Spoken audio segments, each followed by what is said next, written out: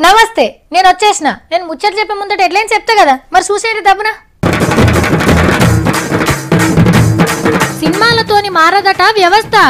అన్నని మోసనం చేసిన వాళ్ళని వదలడట.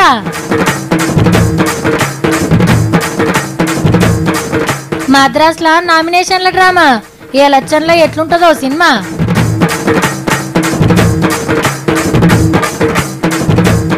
దౌకాన్ల అడ్డబెట్టిన పిల్లులు ఆఫీసర్లకు గానస్తలే వాటి చేతలు. సావిత్రి బర్త్డే చేస్తున్న సత్తి. ఆ కట్టు బొట్టు ఎంత ముచ్చట చూడగా ఉంటాయమ్మా. ఇప్పటి ఊతు నిన్ను చూసి సాన నేర్చుకోవాలమ్మా. మళ్ళొక మళ్ళొకసారి నీకు. పుట్టిన బర్త్డే శుభాకాంక్షలమ్మా చలోరే చలోరే చల్ చలోరే చలోరే చల్ చలోరే చలోరే చల్ చల్ నీ పయనం ఎక్కడికో నీకు తెలియాలిగా. ఈ సమరం ఎవ్వరితో తెలుసుకో ముందుగా? ఇగో ఈ సినిమా పాటనే స్ఫూర్తిగా తీసుకొని పవన్ సార్ బయలుదేరిండు. నిన్న హైటెక్ సిటీలో సినిమా షూటింగ్ ఉండే. ఇవాళనేమో విశాఖపట్నంలో తేలిండు. ఇక ఇప్పటి సంది జనసేన జనంలోనే ఉంటది. జన సమస్యలను అర్థం చేసుకొని సర్కార్కి చెప్పి తీరుస్తుందట. ఒకేలా తీర్చకుంటే జంగు లేపుతాడట మరి సార్ పోరాటం ఎవరి మీద? ఎట్లా గరమైండో ఓ పారి చూడరు ప్రజా సమస్యల్ని ముందుకు తీసుకెళ్ళలేని మీకు రెండు వేల పంతొమ్మిదిలో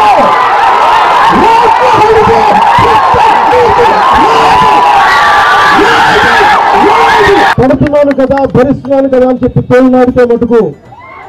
ఆ దెబ్బలు తిన్నవాడు ఎలా ఎదురు తిరిగితే ఎలా ఉంటుందో కూడా మీకు చూపించగలను. అర్థమైందా సార్ ఏమన్నాడో? మూడున్నరేండ్లు ఓపిక బట్టి చూసినా. నేను ఎదురు తిరిగితే ఏం చేయాలనో చేసి చూపిస్తా అని ఇండైరెక్ట్గా చెప్పిండు. మీరు ఇంకో తీరులో అన్నా మాకు మీరు అన్నది బాబు గారిని అని డైరెక్ట్గా అర్థమైందిలే సారు. చెలోరే చెలని జనం నడమకు పోతందుకు యాత్ర షురువు చేసిండి అలా విశాఖపట్నం నుంచి. ఆడ డ్రెడ్జింగ్ కార్పొరేషన్ అని ఒక ప్రభుత్వ సంస్థను ప్రైవేట్ పరం చేస్తారని ప్రకటిస్తే కొలువులు పోతాయన్న బుగులుకు ఒక అన్న జీవి తీసుకున్నాడు.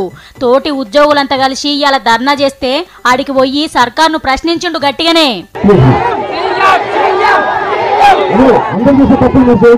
అగో ఫ్యాన్స్ సీఎం సీఎం అంటుంటే సారేమో గిట్ల అన్నాడు. ముఖ్యమంత్రి ముఖ్యంగా సీఎం సీఎం అని నాకు నాకు నా నిజంగా చెప్తున్నాను మీ అందరికీ సమక్ష ప్రజల సమక్షంలో? నాకే నిజంగా నాకు లోపల ఎందుకంటే ఇది సరదా కాదు మీకు సరదా కాదు నాకు సరదా కాదు. నాకు బాధ్యత.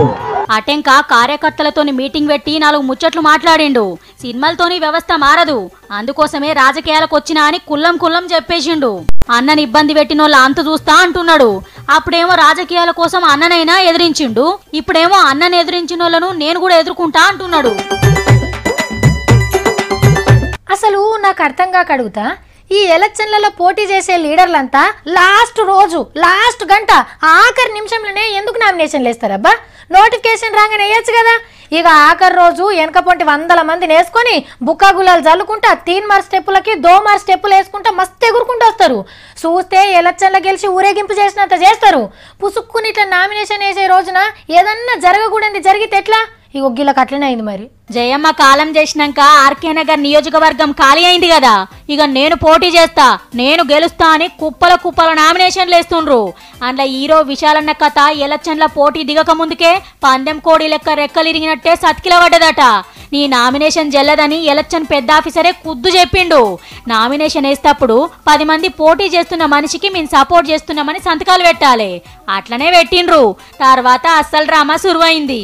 అందులో ఇద్దరు మా సంతకాలు కావని చెప్పే వరకు నామినేషన్ ఆపిండ్రు. తర్వాత విశాలన్న ఫోన్లు అడిగే వరకు ఏహే పక్కపాటోళ్ళు మమ్మల్ని బెదిరిస్తుండ్రు అని చెప్పిండ్రట. ఇక గవ్వే ఆడియో రికార్డులు ఎలక్షన్ ఆఫీసర్కు చూపెట్టే వరకు మళ్ళా నామినేషన్ ఓకే అన్నారు. అప్పుడు హీరో విశాలన్న తోవ సాఫ్ అయింది అనుకున్నారు అందరూ. కానీ మళ్ళా అదే ఇద్దరు డైరెక్ట్గా ఎలక్షన్ ఆఫీసర్ తానికి పోయి అవి మా సంతకాలు కావు అని చెప్పే వరకు రాత్రి పదకొండు గంటలకు నామినేషన్ క్యాన్సిల్ చేసిండ్రు. నామినేషన్ కానే గింత చిత్రాలు నడుస్తున్నాయంటే ఇక ఓట్లప్పుడు ఎట్లుంటదో? సినిమాల గిట్ల జరిగితే విశాలన్న ఎట్లనో అట్లా పోరాడి ఆఖరికి నెగటోడు కానీ ఇది రాజకీయం సినిమా కాదు కదా. ఇంతంత సంతకంతోని మొదటికే మోసమైంది పో. అబ్బా టూర్ అంటే ఇట్లుండాలి. ఇవాంక మేడం రాకముందు నెల రోజుల ముందు నుంచే ఆర్త. పట్నం ఎట్లా చేయాలి? ఎట్లా సింగారేయాలని. వచ్చినాక ఇంకా పెద్ద ఆర్త. ఆమె ఏం తింటది? కట్టుబొట్టు ఎట్లుందని. ఒకటే గుసగుస ఇవన్నీ. ఇక మేడం వెళ్ళిపోయినాక కూడా పెద్ద ఆర్త అయిందిలా. ఇవాంక మేడం రాగానే బిచ్చగాళ్ళంతా జైలవాడే వాళ్ళంతా మళ్ళీ ఇప్పుడు రోడ్ల మీదకి వచ్చిన నేను ఆర్తేసినాం కదా. మళ్ళీ ఇప్పుడు ఇగో ఇదో పెద్ద ఆర్త వచ్చింది. అదేందో ఇంటనే మీకైతే నవ్వొస్తుందిలా.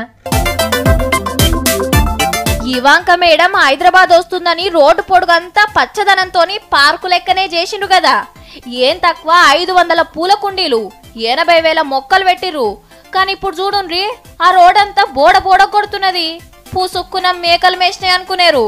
కాదు మనుషులే పూల కుండీలతో సహా ఎక్కువైనట ఒకటి కాదు రెండు కాదు నలభై పూల కుండీలు ఐదు వేల పూల మొక్కలు ఎక్కబోయిందట మున్సిపాలిటోలు ఉరుక్కుంట పోయి గచ్చిబౌలి పోలీస్ స్టేషన్లో కేసు పెట్టిర్రు. ఇవాంక మేడం కోసం తెచ్చిర్రు. మేడం వచ్చే ఏలిపాయే. ఇంకెందుకని ఎత్తుకుపోయినరో? లేకుంటే మొలకలంటే మాకు ప్రాణం. పొద్దు మాపు వాటి ఆలన పాలన చూసుకుంటామని ఎత్తుకుపోయినరు. కానీ పచ్చదనం అంటే అంత పాయిరమే ఉంటే మన సర్కారిచ్చే హరితహారం మొక్కలుండనే ఉండే. ఒక లారెడు మొలకలు తెచ్చుకొని ఇల్లు నడివి చేసుకుంటే ఎవరన్నా వద్దనరా చిత్రం ఏందంటే మేడం వస్తుందని రోడ్ల మీద ఉన్న బిచ్చగాళ్ళు లోపలికి పోయి మేడం వెళ్ళిపోయినాక మళ్ళా రోడ్డు మీదకి వచ్చిర్రు కానీ మేడం కోసం పెట్టిన పూల కుండీలు మొలకలు మాత్రం రోడ్ల మీదకి వెళ్ళి దొంగలిండ్లకి పోయినాయి పో. నా మాట ఫలకాలి అక్క నీ మాటలో ఒలకాలి అక్క. ఏం రా సత్తిగా? ఏడన్నా పాటల పోటీలు పెట్టిర్రారా? ఏమో పాటలు పాడుతున్నావు? ఆలయంలో వెలిసిన దేవుని రీతి ఇండ్లల్లా ఈ జగతికి జీవన జ్యోతి. ఆగో మళ్ళీ అప్పుడే గొంతు మారుస్తుండు. ఏం చేస్తున్నావురా? ఇప్పుడు ఎందుకు పాటలు పాడుతున్నావు? ఓహోహో ఫండు గంట ఆహా ఫండు గంట కేకు మనము కోతాము. ఊరంతా ఫంతుదాము. Tom Tom Tom.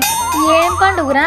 దసరా అయిపోయి దీవెలు అయిపోయాయి ఇవాళ ఏం పండుగ ఉంది ఆయన సాఫిత్రమ్మ ఆ కమ్మటి సంభాషణలు ఇప్పటికీ మాకు యాదికున్నాయి. హాహా తీన్మార మందిరంలో ఒక తమ్ముడు సత్తిగాడేనా ఇలా మాట్లాడేది? ఏమిటి?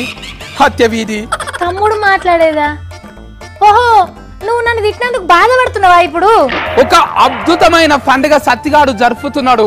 పుట్టిన బర్త్డే శుభాకలస్కర్లు సాఫిత్రమ్మ. ఇగో కేకు ఇగో షాకు ఏ ఇవాళ బర్త్డేనా నాది. ఏ కాదు ఏదైతే అదైంది? కేక్ తెచ్చినావు కదా ఆ కేక్ అంటే నాకు మస్తు ఇష్టం సత్తి. ఆ కట్టు బొట్టు ఎంత ముచ్చట చూడగా ఉంటాయమ్మా? ఇప్పటి ఊతు నిన్ను చూసి సాన నేర్చుకోవాలమ్మా. ఆ ముత్క సీర బుగ్గల జాకెట్టు కండ్లకు కాటిక. మళ్ళొకసారి నీకు. పుట్టిన బర్త్డే శుభాకలస్కన్లమ్మా అయ్యో థ్యాంక్ యూ రా సత్తిగా. నేనైతే నమ్మలేకపోతున్నా. ఇంత మంచోడు ఎప్పుడైనావురా? సరే ఒక సెల్ఫీ ఫోటో దిగుతా నీతో. సెల్ఫీస్ట్ కట్ట తీసుకొని చేతుల మీద చంపుతామలా. అఫర్ సంధి ఇక లేను ఖుషి వార్తను ఎవరు పిలిచింది నేను అరే అట్లా అంటవేందిరా ఇదివరకు దాకా మంచిగానే ఉంటావు కదా? ఇప్పటిదిప్పుడు ఏమాయే నాకేమైంది? మంచిగా లేకుంటే తిలరమాలు ఉన్నానా? ఏమన్నా?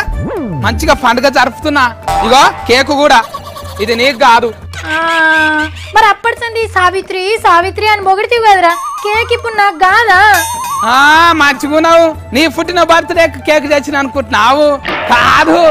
మగానాటి సాఫిత్రమ్మ పుట్టిన బర్త్డే ఎలా అందుకే నూరు రూపాయలు పెట్టి తెచ్చిన. నీ పుట్టిన బర్త్డేకి అయితే చారాన చాక్లెట్ కూడా దండగా. హుషారు ఉన్నావు. నీకెందుకు తెస్తా నేను? నాకు మతికేలేదు నీ పుట్టిన బర్త్డే. అబ్బా ఇదేదో ముందే చెప్పొచ్చుగా. నా పేరు ఉండేసరికి నా బర్త్డే కాకుండా అడ్వాన్స్గా కేక్ తెచ్చినవేమో అనుకున్నా నేను. ఊ డోంట్ నో ఫుల్ నేమ్ అయితే ఇను చెప్తా. నీ శంకర సాఫిత్రమ్మ.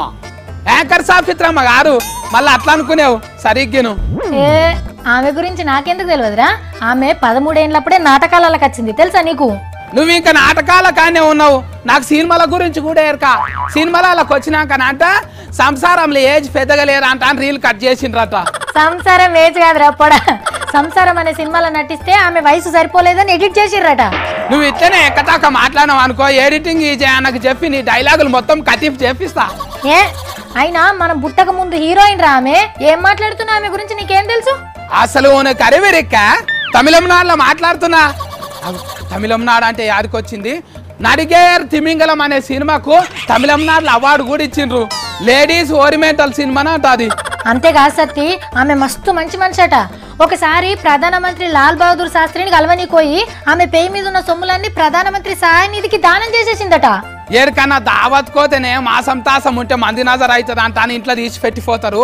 అటువంటిది ఫెయి మీద ఉన్న సొమ్ములన్నీ దాన ధర్మం చేసేసింది అక్క ఆ, ఇంత అంత మంచితనం? ఉన్నది కాబట్టి. ఇప్పటికి కూడా మనం యాద్ చేసుకుంటున్నాం కదా అసంటోళ్ళు లచ్చలలో ఒకళ్ళు ఉంటారా ఎంతగానమో తిఫలవాడి ఎన్నెన్నో సినిమాలలో యాస్కెనింగ్ చేసి ఆ తరం ఈ తరం ముంగటి తరం అందరికి యాद ఉండేటట్టు యాస్కెనింగ్ చేసిన సాఫిత్రమ్మకు మళ్ళొక ఫారి పుట్టిన బర్త్డే శుభాకాంక్షలు.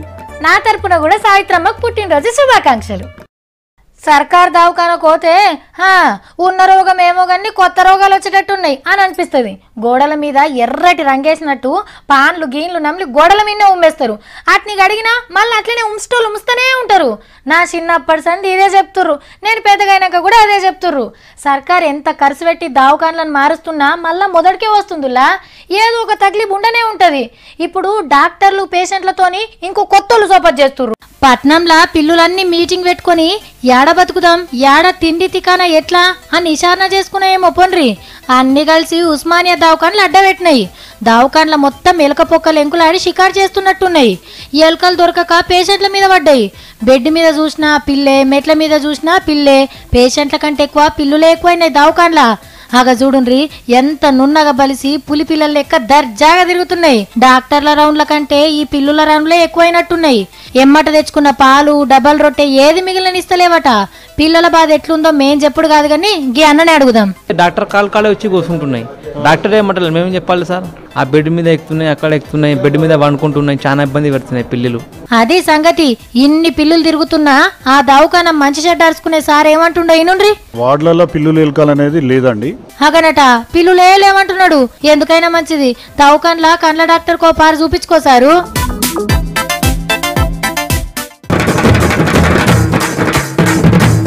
సినిమాలతోని మారదట వ్యవస్థ. అన్నని మోసనం చేసిన వాళ్ళని వదలడట.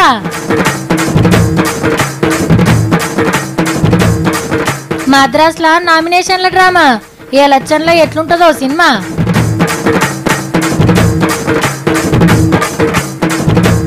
దౌకాన్ల అడ్డబెట్టిన పిల్లులు ఆఫీసర్లకు గానస్తలే వాటి చేతలు.